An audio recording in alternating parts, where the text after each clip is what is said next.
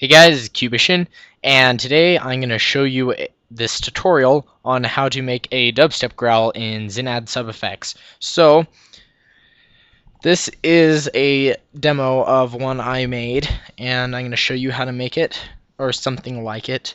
Um, I mean, it's quite easy to make one. There's, you know, I'm not going to give you a step-by-step -step everything, but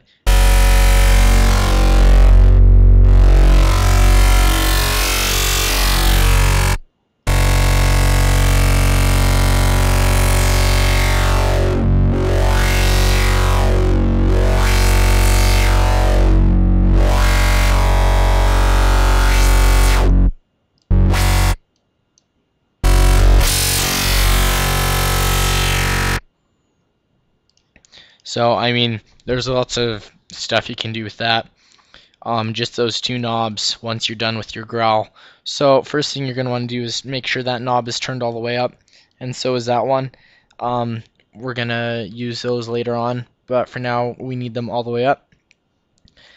So this tutorial assumes you have a basic knowledge of ZynAddSubFX. If you don't, please watch my other tutorial videos on ZynAddSubFX. Otherwise, you won't get a bit of this. So edit instrument, make sure ADsynth is enabled, um, keep everything how it is there. Actually go back and turn the octave down. So everything will be stepped an octave down in that instrument. So first thing you want to do, voice oscillator right here. There's nothing special to it. Just make sure it's something else besides the sine. I mean,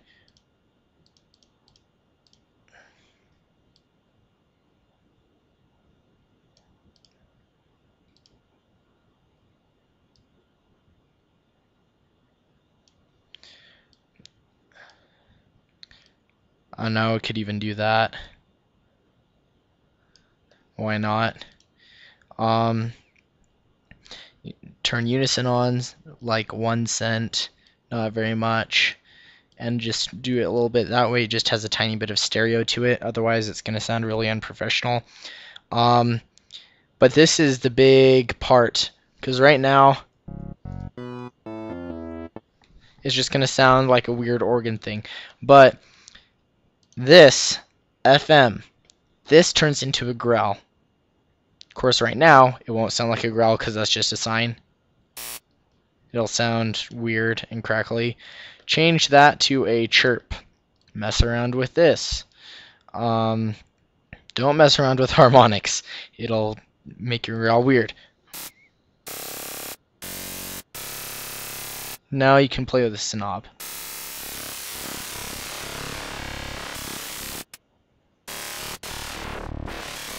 Okay. So this right here was a bad choice for my wave. Let's try something like that.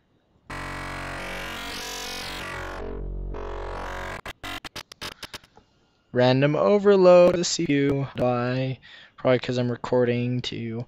Um, so basically, you just mess around, and make a weird carrier wave of some sort. I like the look of that, so we'll do that. Um, okay. I don't know why that's reloading, but I guess I know now. Um, that's just weird.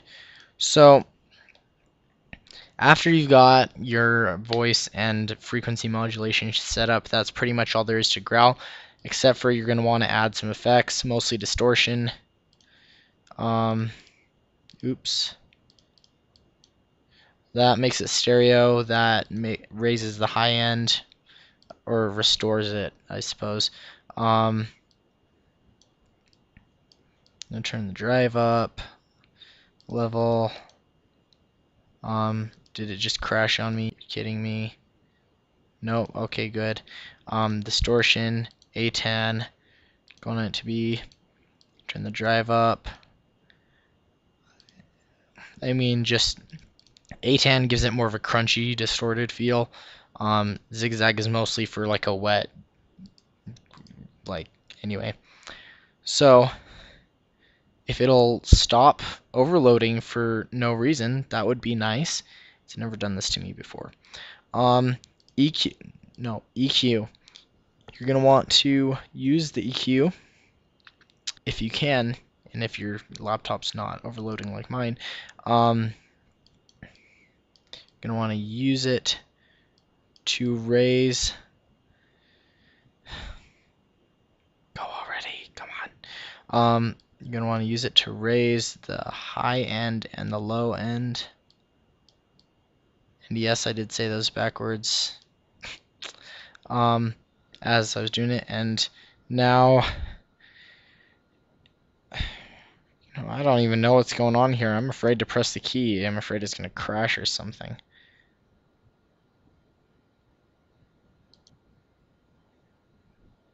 Oh. It's just the it's just the Zengui. So, see how it Oh, my, that's uh very very loud.